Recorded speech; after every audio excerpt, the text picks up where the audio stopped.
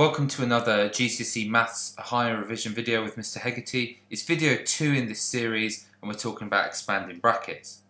Make sure you pause the video and read this to explain how to use these videos. They're for short, sharp revision. Make a revision card with the examples I do. On the back of that revision card, try the exam questions I show you. Right, so we're doing our first video on expanding one bracket. We're doing five examples, so here we go. We want to do 3 um, multiplied by x add 2. So we do 3 multiplied by the first term, 3 multiplied by x is going to give us a 3x's, 3x, and 3 multiplied by positive 2 is positive 6. Now, a little reminder, don't do this. Students tend to multiply the first term, 3x, and they write 3x add 2. They forget to do 3 multiplied by 2. So don't do that, whatever you do.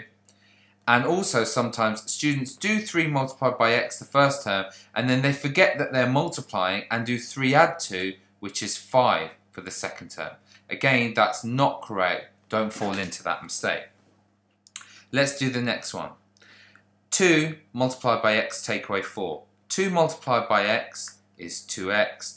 2 multiplied by negative 4, positive 2 multiplied by negative 4 is negative 8. Again, don't do the two classic mistakes. 2x take away 4, they forget to multiply the 2 by the negative 4, or they combine them somehow to be 6. They, they might write 2x take away 6. They might do 2 add 4 or something. That's not right at all. Okay? Okay, next one. So, we're going to do 3 multiplied by 2p. 3 multiplied by 2 is 6 and we must have 6 p's. 3 positive 3 multiplied by positive 3 is positive 9. Again, don't do the two classic mistakes. Don't say that 6p add 6, okay, or don't say that 6p add 3 and forget to do that. Both of those are wrong. Okay, and now I'm not going to continue showing you the wrong answers, I'll just show you the right ones. 5 multiplied by 2x is 10x.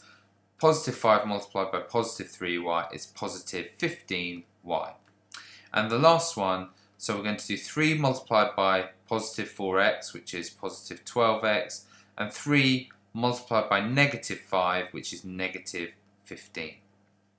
Okay, those five examples should uh, explain everything you need. Now try the following exam questions. Pause the video, try them, then I'll go through the answers in 10 seconds.